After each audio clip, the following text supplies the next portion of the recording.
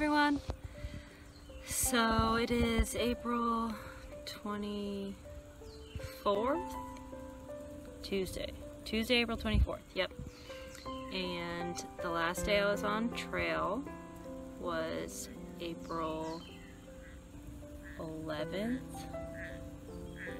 April 11th. We stopped at Winding Stair Gap which is what the plan was. We got a shuttle. Miss Beverly, awesome careening, uh, picked us up and really took care of us. Uh, picked us up, took us to the hotel.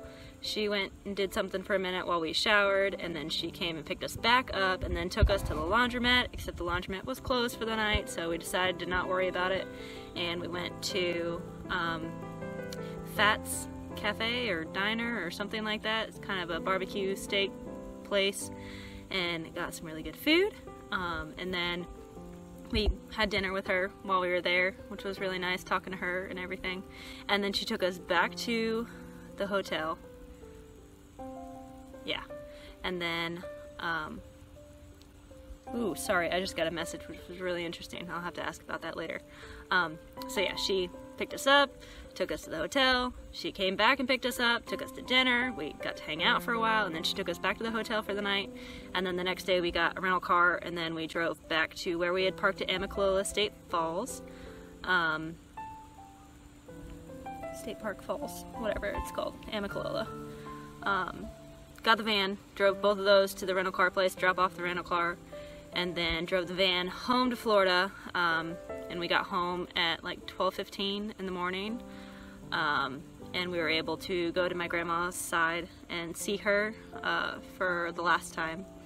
Um, and she passed away like 15 minutes after we got there. So it seems like incredible timing, but I think it's because she was waiting on us to get there. So it was good, really sad, but good at the same time.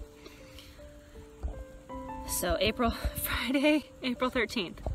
Um, was technically when she passed away, which is interesting coincidences. Um, so we've been here at home for almost two weeks now because of that timing and then the funeral being the next Saturday. Um, and that it was beautiful memorial ceremony and all that. Um, very very beloved woman because she was an incredibly loving woman. Um, Shirley Jean Calhoun, my maternal grandmother. Uh, she will be missed terribly by many people. Um, I'm really glad that we were able to get back in time and that the timing worked out with what we were kind of already planning and all of that. Um, we're glad that her suffering is over um, and glad that we know she's in a better place with so many people that she loves dearly and has missed for a really long time. So we will meet her again. It's gonna be incredible. And I know that she had an incredible uh, welcoming party. um, so yeah, so went on the trail for two weeks. I've been off the trail for two weeks. Um, it was really good, even if we hadn't been coming back for that reason. I almost wanted to come back to kind of reorganize, resituate a lot of things in my pack that I was carrying. Um, my resupply boxes so that they actually make sense so my parents can send them off without having to do any reorganizing for me. Um, I've got a lot of that resituated and all that. Um, going back through all those resupply boxes has been really helpful to figure out what I actually want to have sent to me and when and all that. Um, so dad went with me the first two weeks because mom was staying home to be with Grammy for that time. And I've been home for two weeks with both of them doing all sorts of stuff. And now mom's gonna come out with me for about two weeks, maybe a little more, we'll see. So that'll be really cool. I'm, I'm excited about that. Um, so we were trying to figure out what towns we need to stop in, what resupply boxes we'll need, what we need to carry with us because mom needs to have a pack 20 pounds or less. Uh, and I need to have a lighter pack than what I had started with. Uh, so we're trying to figure out what gear we're going to need while we're together and then how to get me whatever gear I need to have when I'm by myself after she heads back home or whatever it is. Uh, so we were planning on leaving this morning that got changed on like Sunday. And then we were thinking we are gonna leave tomorrow morning, and then that got changed today. So we should be heading out Thursday morning. Um, oh my gosh, which means I'll be off the trail for two weeks and a couple of days actually, because I think I got off trail on Wednesday and I won't be back hiking again until Friday. So, oh goodness. It means I'm gonna have to be booking it once I get started again, uh, especially once I'm by myself and through Virginia when it's flat. I will need to be doing 20 mile days, if not 25 or 30 mile days, like all the way through Virginia. Because right now the average is like 14 mile days is what I'll need to average every single day from when I start back up again. And we're not going to do that the first week or two when it's me and mom. We'll probably be doing 10 mile days. Um, gosh. And that's without in town day, like straight through, like every single day I need to be doing 14 mile days, if not more. And that's not gonna happen at the beginning, so that means I'm definitely gonna have to like make up the difference whenever I can, always. oh man. I, I didn't think that this was going to be a vacation. Like, that was never really what I thought. Uh, I've always thought of it as a reset. And apparently, part of that reset is learning how to kick it into gear. no more procrastinating. No more chilling out and not doing things on days that I need to do things. I just have to do it. So it'll be good. It's gonna be more of a challenge than I had originally thought of it, um, just because of timing and mileage and all of that. Uh, but it'll be really good for me, I think. Um, I could definitely feel a difference in my body already from just the two weeks of just muscles doing what they need to be doing and all that.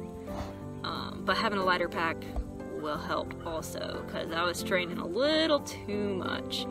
My uh, I rolled my ankle on day four of hiking. Uh, the ankle that I had injured in 2013. I like really injured it then, but when I rolled my ankle on day four, it wasn't horrendous. Um, and we hiked another like three or four miles that day before we got to camp. So I kind of favored it a little bit. So then the next day, my right or my left knee, just above my knee in my quad, that was starting to hurt. And then we had gotten into Neel Gap. So when we left Neel Gap, it started to be horrible. Oh my gosh, it was so painful. Um, so we had to take it a little easy and my dad helped carry some of my things. Since my pack was too heavy he like took a couple of those things for me so it wouldn't be uh, overwhelming. And then it was kind of starting to feel better except that it was kind of starting to jump around. So from my left knee it jumped to my right knee and then my both my ankles were kind of like uh, I don't know about this. And then I went back to my left knee and so I'm hoping that after two weeks off and starting with a lighter pack, hopefully it'll be a little better than um, than, than when I left off. Um, I also got a little knee brace thing, so I'm hoping that'll help. I will probably get another one actually, so I have it on both my knees because it already feels nice when I'm just walking around in Florida without a pack on. So I should probably have that on both my knees, at least for a while while I'm getting back into it. Um, so I was just sitting out here watching the sunset because I like to do that. Um, and then I realized that I should probably do a video because I haven't done videos in a long time. So that's the main updates I think I need to do. I'll do more once I get back out on the trail and you'll get to meet my mom. Uh, you met my dad, Steven, Papa Bear. Um, and my mom is Kelly, Mama Bear. And I don't know if there's anything else to talk about. I think that's the main things. So yeah, we'll be getting back out there here soon. a little later than originally expected, but it's been good being here, getting things set up again, and being in my house. It's not gonna be my house for very much longer, because when I get back from the trail, they're going to be looking to sell it soon after that, and then I'm going to be moving out to Arizona, so then I won't be living in it, and then it'll be sold, and it won't be my home anymore, so that's kind of weird. So I guess I am going to give you a little bit of what a house looks like from the back. I'm gonna see if I can flip this around. I don't think I can flip it around when I'm starting. Okay, so behind me, let's see, that's the driveway and the screen porch. And then that direction is the playhouse shed storage area workshop that we built. Woohoo, we built that. And then all the way down there is the backyard. One more of the backyard. We built that fence all the way at the back, the big old fire pit. And then the garden that my dad and I built in the rose corner. And then the gardenias over there, I think you can see. Yeah, gardenia. And then yeah, our awesome pool. Love this pool. And then, uh, yeah, rest of the yard. But that's all, I guess. I'm gonna miss this backyard. It's been, I love this backyard actually. It's really relaxing. Um, I do a perimeter check all the time. check on my plants and my garden, the pool, check the skimmer basket to make sure no little lizards or frogs are dying in there. And then our gardenias, oh, I'm so excited about our gardenias. Right there, you can see the first bloom started on Friday and then Saturday it went from like no blooms on it, just it's already like getting covered with blooms. Yay! I love plants. but uh, alright, I guess this video is a little too long already, so I'll say bye. I'll give you more info when we get out there and figure out what we're doing and how far we're going and all that. I think we're gonna stop in we're starting at Winding Stair Gap, and then we're gonna stop at Fontana Dam, Gatlinburg area, and then the next spot will be Hot Springs, I think, and then Mom will probably head off in Hot Springs.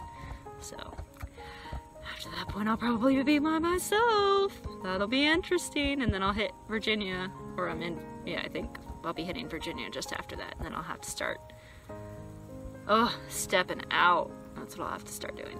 So I will talk to you all later. Thanks for watching. Bye.